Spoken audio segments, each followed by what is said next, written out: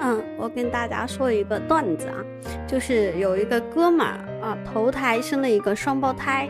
然后呢他老婆的奶水不足不足然后去买了一头奶羊就是那种羊想喝羊奶喂小孩买了一头奶羊嗯然后呢不巧的是那个羊又生了四只小羊结果他还得去给给那个羊买奶粉喝 还要给羊买奶粉喝